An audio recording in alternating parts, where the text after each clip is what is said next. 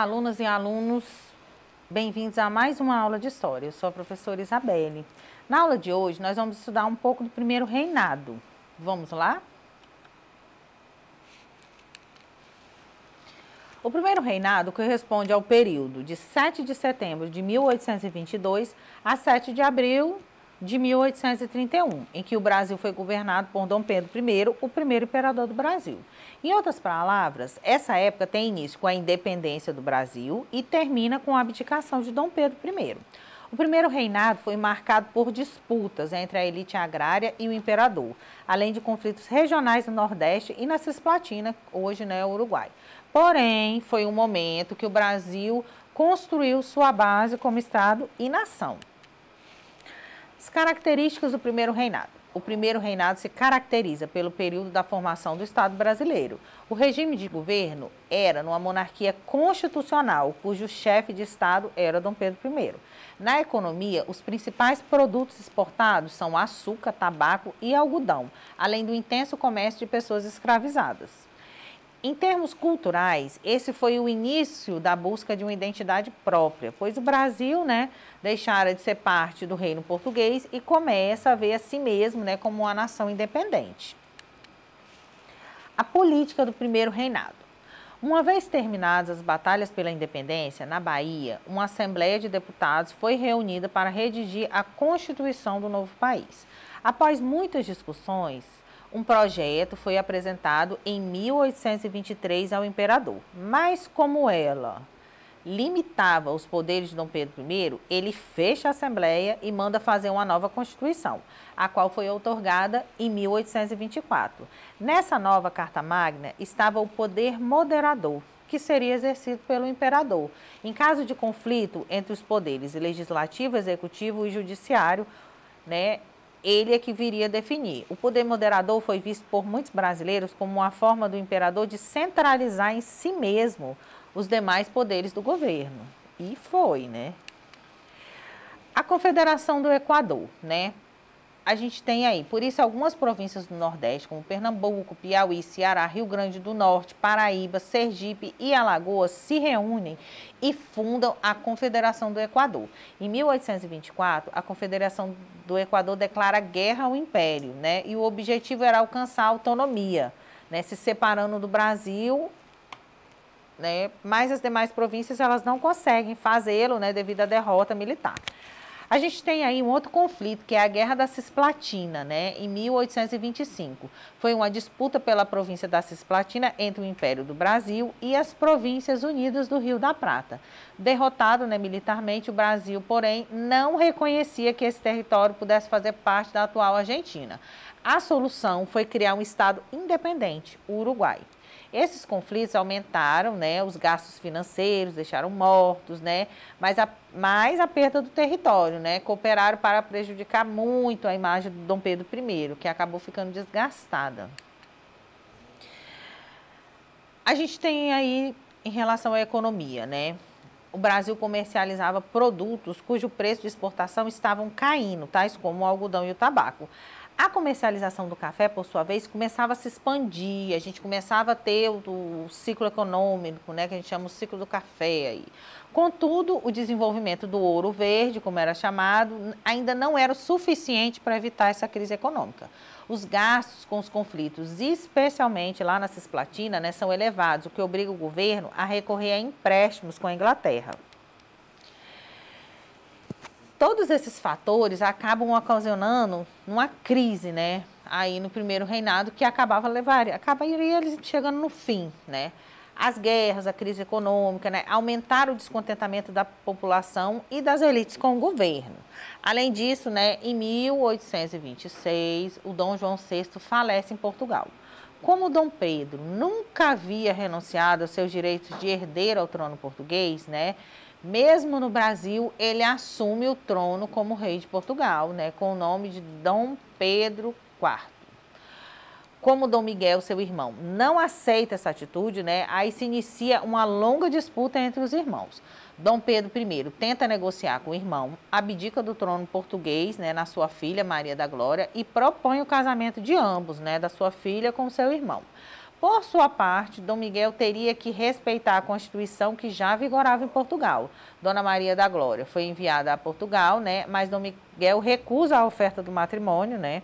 E aí, portanto, ele sobe ao trono português como rei, né? E desrespeita ali a, a Constituição. Em razão dessa crise, a gente tem aí a Noite das Garrafadas, né? Além dos fatos já citados acima, né, no Brasil, o descontentamento com o imperador chegava às ruas, né, sob formas de protesto. Uma delas foi a Noite das Garrafadas, né, ocorrida de 13 a 15 de março de 1831 onde os portugueses que não apoiavam a separação de Brasil e Portugal e os brasileiros se enfrentavam ali nas ruas do Rio de Janeiro. O Dom Pedro I tinha ido né, à província das Minas Gerais a fim de angariar apoio para sua causa. Na volta, vários portugueses organizavam uma grande festa para recebê-lo, mas né, acabou em confusão entre os brasileiros que reclamavam contra o governo de Dom Pedro I. Assustado com a violência das ruas, né, o Dom Pedro I decide formar um ministério constituído somente por brasileiros, o Ministério dos Marqueses. Porém, isso não foi o suficiente né, para acalmar os ânimos e também houve a suspeita né, que o assassinato do jornalista Líbero Badaró, né, ocorrido em 1830, e crítico do governo, teria sido ordenado pelo imperador, trazendo ainda mais revolta para o povo. Todos esses eventos acabam culminando aí com o desgaste extremo né, do imperador Dom Pedro I, e aí ele resolve abdicar do trono em favor do seu filho. Dividido né, entre o trono português e o brasileiro, né, enfrentando protestos na rua, né, com grande parte do exército contra a sua figura, Dom Pedro I abdica do trono em favor do seu filho né, e herdeiro Dom Pedro II.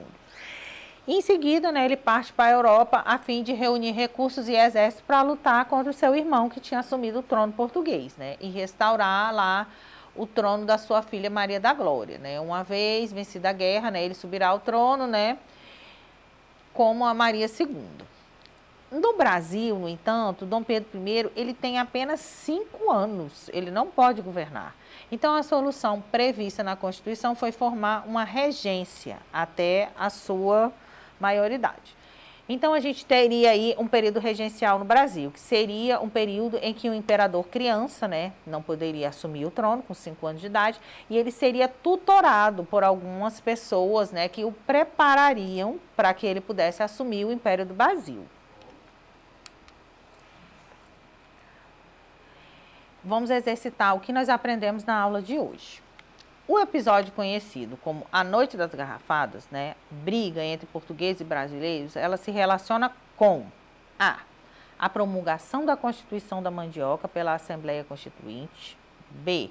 A instituição da tarifa Alves Branco, que aumentava as taxas de alfândega, acirrando as disputas entre portugueses e brasileiros.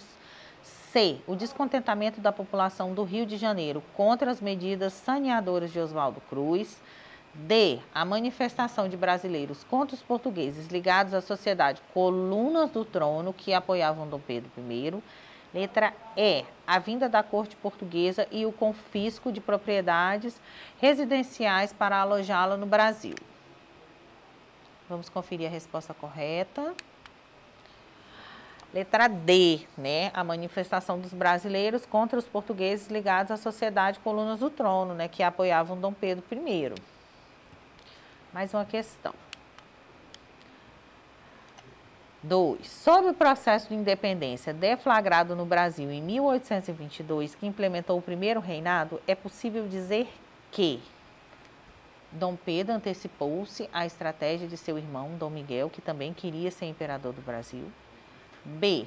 Foi um processo deflagrado no Brasil após a morte de Dom João VI.